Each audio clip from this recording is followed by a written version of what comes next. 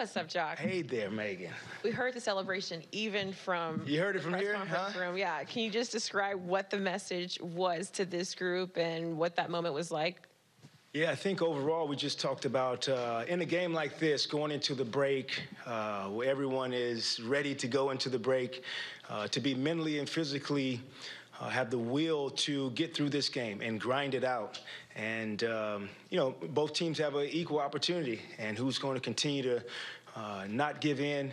We grind this thing out, we stayed together as a team, and uh, we got rewarded for it. And speaking of rewarded, Mikal Bridges tonight, new career high night from you from for him.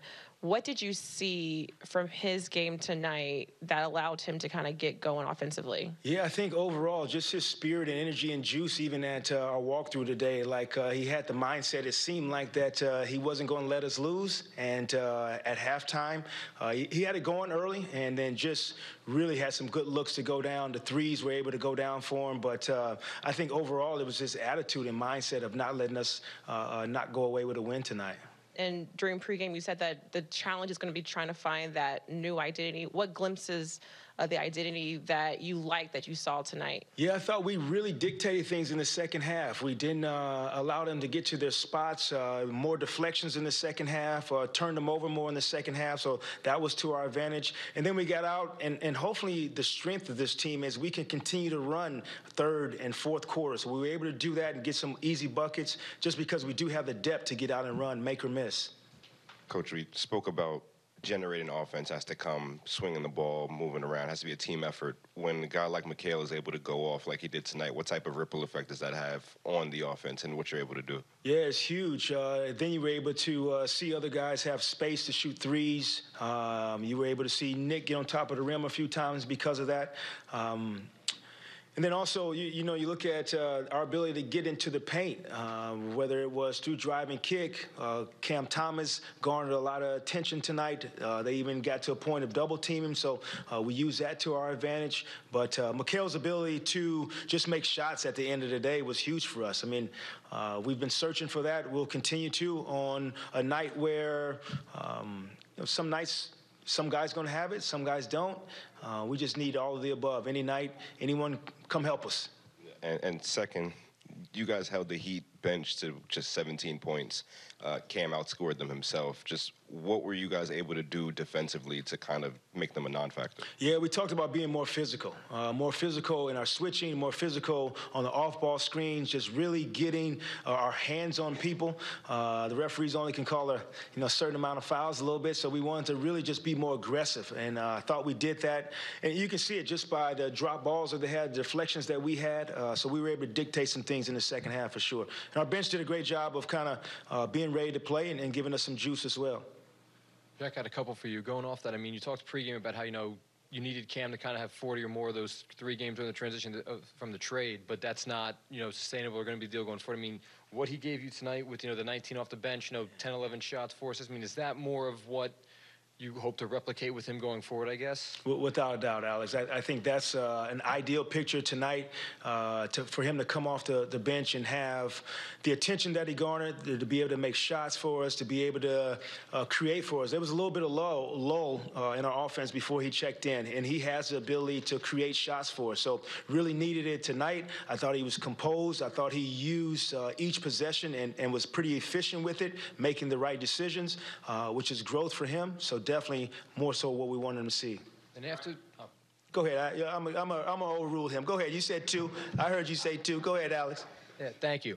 Um, you, a lot of guys talked after the Garden about you know getting stagnant, kind of like what you were saying, and, and also you talked about the pressure that Spencer has both from a playmaking and a three-point shooting standpoint. You, know, you guys won comfortably, I guess, tonight Yeah. with him only having nine. If, if you can just kind of speak to you know the playmaking without him, you know you had Yeah. three, six guys with three or more assists, and then also just the the the ability to kind of do that without him having that kind of pressure. Yeah, I knew you had a great question in you, without a doubt. It, it was. Uh, Tell my it- boss that.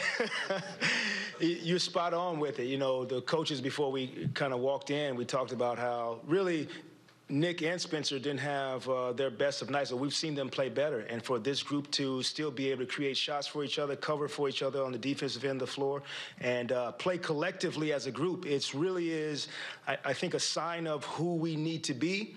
Um, just because our group, I'm not sure Mikal's going to score 45 every night. I'm not sure Spencer's going to have 20 in the first half every night. Uh, so uh, that ability to pick each other up and uh, create for each other and stay together is kind of uh, who we have to be identity-wise. Okay, now I can go. No. Yeah, sorry, sorry, Aaron. I mean, I'm sure it was a pretty you know, lousy feeling when you heard you were trading Kevin Durant. Uh, when, when you found out you were getting Bridges back, you know, I've heard a lot of coaches through the years talk about him. They seem to really value what he does on the court. What, what was your kind of feeling when you heard, okay, this is one of the guys in the package? Yeah, I'm really, you know, just all honestly, I'm, I'm extremely excited about this group. Uh, um, that part of, you know, the old era is gone. We got a new era, and we have some uh, some guys in the locker room who can really play the game of basketball, who really want to learn about the game, who want to be pushed and coached. And uh, Bridges is open-minded, but at the same time um, has a a consciousness about him that he can communicate with his teammates. He has a joy about him. Every day I see him in the gym, uh, he works on his game. Uh, so extremely pleased that he's a part of our future going forward. Uh, if you want different guys to, to represent you as a as a franchise, uh, I'm quite sure when he goes to uh, schools and does public appearances, when he's in the locker room with this group, uh, when he's talking to his head coach after walkthrough today, extremely impressive as a human being and 45 helps too as a basketball player. Alex stole my great question, so I'm going to pivot here. Uh, reg- regarding with Cam, uh, I'm curious.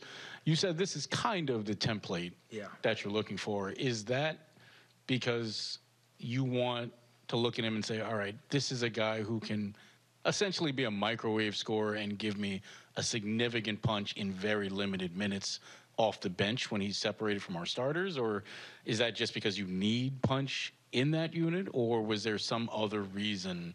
that this is the perfect fit for him? Yeah, I think really, Brian, it boils down to the number of guys we have. So tonight, decided to go with 10 guys. And, uh, you know, Seth got the short end of the stick a little bit with his minutes tonight. Uh, and so I think really that's what it boils down to. Dorian didn't play as many minutes tonight, and it's just going to be some nights where defensively we need Dodo and Mikal uh, on the floor, and uh, we need Nick on the floor. We went small tonight to extend and put another small with Dodo playing the five uh, to give us the opportunity to put another small on the floor. We're playing 10 guys right now. Eventually, that's going to whittle down to nine uh, or eight as you get into the playoffs. Uh, but I think that's the biggest thing is being able to utilize the depth, the minutes, and hopefully Cam is efficient coming off the bench right now uh, in the time that he gets. We've had conversations about it, and uh, he's been receptive to it. I think tonight he really showed how he can come into the game, make an impact, but we're also able to play the other smalls that we have uh, to capitalize on the depth of, of our team. Alex wants to press his left with another. I don't know about that. Um, you know, the last three games. the last three games, was, you know, Nick hasn't been bad by any means, but he hasn't been, you know, the double-double machine that he was at the level he was playing at, you know, pre-trade. I guess. What What do you make of his this recent stretch from him? Alex, I, I wish I could tell you how much this this young man has given us. He is he is tired, and he has been tired. And uh, you see tonight, eight uh, four minutes into the game, Nick Claxton was tired. And so I said it before the game. It was already on my mind. I'm already thinking about how can I get him through this game and us get a win. Uh, he's given us everything he's had. Uh, played more minutes this year, like I said, than two years combined. And so um, that's why he plays 20 minutes at, at the at the Garden. Uh, we were trying to figure out how can we get this dude to the end line to get to some recovery over All-Star break. Uh, I appreciate him. I told him that. Let's get through this game. I love that you've given every ounce refresh, reload, because we got some more. Uh, but this is new territory for him. And uh, we have to be conscious about how much we put on this plate because we, we've asked a lot for him. Uh, just imagine before our new group came here and the defensive responsibility that he had of guarding people on the perimeter at the rim on a nightly basis. So uh, he'll recharge. We'll give him some love, and he'll be back to his double double machine hopefully after the break.